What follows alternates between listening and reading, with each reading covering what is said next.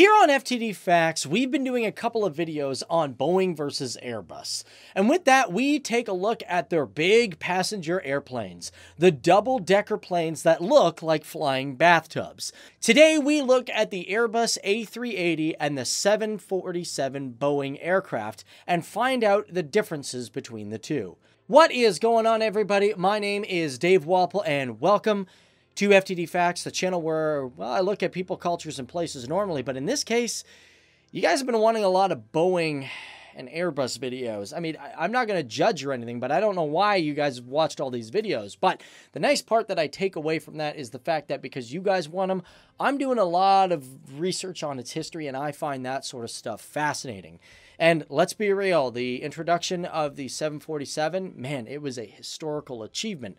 So with that, we're going to get into the video. But before I do, if you guys just like this topic and you guys want more stuff around it, be sure to hit that like button. Also done some cool playlists that you guys might be interested in. Feel free to check it out. And I just want to let you guys know quickly about Grammarly.com. If you guys suck at grammar like I do, you guys are really going to benefit from it. It's a nice free program. I'll put it down there in the description box below, but do it at the end of the video because you want to learn about these aircrafts, right? Let's do it.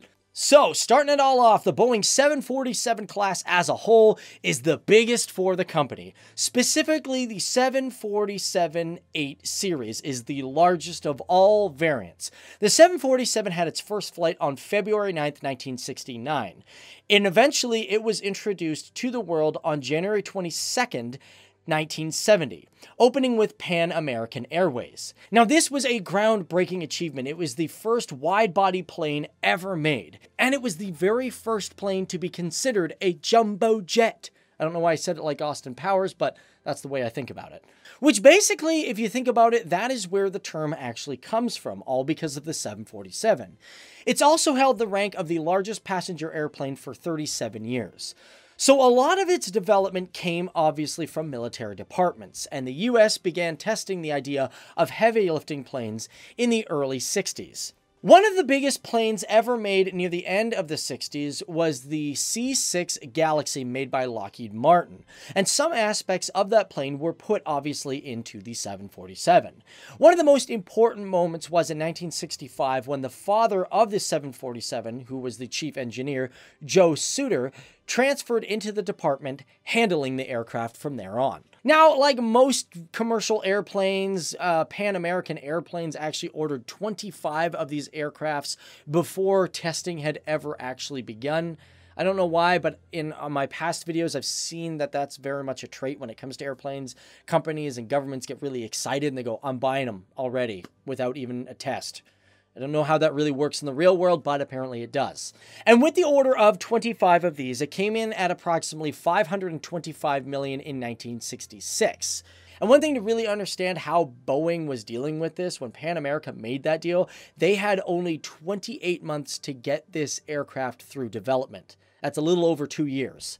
Which actually, just in case you didn't know, is about two thirds under the normal amount of development time for a plane. Now, you may wonder to yourself, how did they manage to build such a large aircraft? Well, this was thanks to the technology of high bypass turbofan engines. This technology was developed by a few companies, but specifically the engine that was put in the 747 was the Pratt Whitney JT9D. And with that, on January 15th, 1970, the First Lady, Pat Nixon, christened the plane, and she began flying. And in today's world, the entire development for this aircraft from 1966 came in at approximately $7.2 billion. Now, the Airbus A380 was its major competitor, and it didn't have as good and as a positive time in production. Its first flight began on April 27, 2005, and it was introduced on October 25, 2007, with Singapore Airlines. In terms of size, yes, it is the largest aircraft in existence, at least in terms of passenger airplane. The development of this aircraft began in 1988, headed by Jean Roeder, who him and his team attempted to figure out a way to beat the 747. By 1990, the Airbus A380 was estimated to be a plane that would be about 15% less than the 747 in terms of operating cost.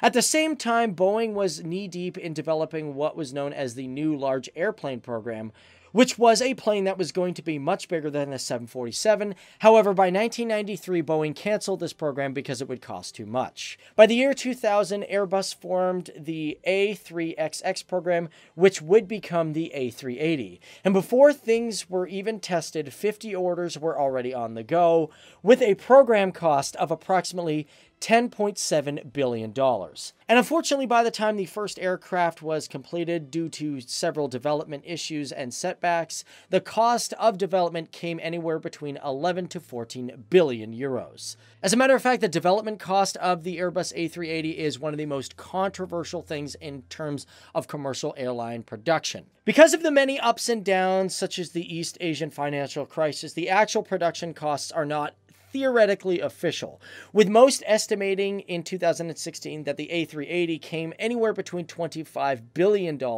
in 15 years. One of the hard parts of actually figuring out the cost of this is because it is a consortium company. So, you know, you have companies that are from different countries around the world. So, getting official numbers is quite difficult. As a matter of fact, there is still a discussion of money, as in 2019, Germany still wants 600 million euros from Airbus for the loans that it gave them. Now, okay, in terms of construction, there is a lot of differences between these two. For the construction of the Airbus A380, there are different parts built in different places around the world, such as France, Germany, Spain, and the United Kingdom. All these parts are eventually brought into the Jean-Luc Lagardère plant in Toulouse, France, for final assembly. As a matter of fact, because the Airbus A380 has such large parts, it even has its own specialized shipping route, called l'itinéraire à grand gabarit. And within that, it has three ships that the Airbus owns, known as the Ville de Bordeaux, the City of Hamburg, and the Ciudad de Cadiz which are roll on and off ships that transfer these parts around the world. On top of that, there is also the Airbus Beluga, which transports parts of the A380. For the 747, though, they don't work that way. They don't get parts from different places around the world and assemble them all in one kind of spot. Yes, of course, there may be some parts for the 747 that come from other places, but most of them are made within one plant. Originally, the company did not have a plant big enough to produce the 747. However, eventually the company created what is known as the Everett factory located in Everett, Washington. And as a matter of fact, most of all these 747 parts are made here, and then the plane is tested by a nearby airport. As a matter of fact, this building is the largest building of any building in the world, coming in with a size of 472,370,319 cubic feet. Now, I know you guys are probably curious about the sizes of these aircrafts. Well, we'll get into that shortly, but the hard part is is determining the size because there's so many different variants. Let's look at variants. With the Boeing 747, there was the 100 series, which was the first. Eventually, there was one that was made for the Japanese called the 747SR, which had less fuel capacity but more seats. After that, there is the 747-100B series, which had greater fuel capacity. There was also the 747SP for Iran, which had more capacity. The 400 series is the most sold of the 747 series, coming in at 442 of them been purchased. The 300 series is probably the biggest jump in size for passengers going from 366. Eventually, this goes up more with passengers. However, by the newer 747 8 series, it has a capacity of around 467 passengers. This was the first class that was considered a stretch version of the 747.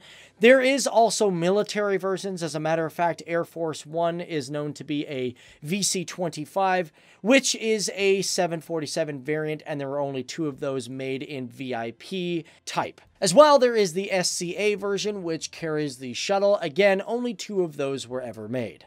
As a matter of fact, there was also the 747 Dreamlifter, which was huge, and it was the largest until the Airbus Beluga took that title. Overall, for the 747, there's about 20 different variants. Now, the Airbus A380 doesn't really have a lot of variants. As a matter of fact, it's kind of a solo aircraft. Besides its normal A380-800, there is also the A380F series, which is basically the freighter version. However, recently it's been taken off of the website, I guess due to the fact that not many people purchased it. Keep in mind, within your basic A380-800 series, they offer two different styles of seating. To understand it, if you have seating done in three different classes, you could fit up to 575 people. However, If you put the whole plane as economy class, you could set up to 853 for seating. There are some other future variants that are planned and some past ones that were not made. Now, specifications, this is where we got to take a look. Now, let's look at the largest 747, and that is the 8, and compare it to the Airbus. In terms of size, besides passengers, the 747 is still the longest. The 747-8 has a length of 76.25 meters, where the Airbus A380 comes in at 72.72 meters, making the 747-8 the longest aircraft of mass production in the entire world. The thing with Airbus, though, they are fatter aircrafts. That's why you get more people on board. The Airbus, in terms of width, comes in at 79.75 meters, whereas the 747-8 only comes in at 68.4 meters. For height, the Boeing comes in at 19.4 meters, and for the Airbus aircraft, it comes in at 24.09 meters. Also, when it comes to cargo space, the Airbus is around 175.2 meters cubed, where Boeing actually comes in at a lot larger at 179.7 meters cubed, making the 747 still much larger in terms of cargo space. For the 747 speed, it comes in at 933 kilometers with a range of 14,320 kilometers. The Airbus A380 comes in 903 kilometers for a range of 14,800 kilometers. However, at full speed, the A380 goes approximately Mach 8.9, where the 747 is faster at Mach 0.90. The old ones are actually even faster at Mach 9.2.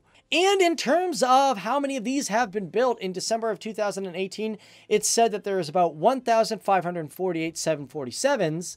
And as of February 2019, there's only been about 234 Airbus A380s. And lastly, when it comes to price, well, the Airbus is about 10% more expensive than your 747. The latest 747 comes in at around $402.9 million, whereas the A380 sits around 445.6 million as of 2018. So I guess the real question now is which one would you buy? Well, thanks for hanging out with me, guys, and learning about the differences between these two aircrafts. I mean, the 747, it's just, it's got that unique look that I don't think will ever be built. You know, that raised little bump at the top. It's just kind of cool. But I want to know your thoughts on that. Feel free to hit that like button if you like this video. And don't forget to check out Grammarly.com down there in the description box below. But on that, I'm Dave Walpole. Thanks for tuning in, and I'll see you guys in the next one. Okay? Bye. Okay, by the way, here are some cool playlists that I think you guys will like and enjoy, especially if you like planes and military craft and all that sort of stuff. These are the kind of things that I think you guys will really, really like. Other than that, hit that subscribe button if it's your first time here, and we'll see you in the next one. Bye.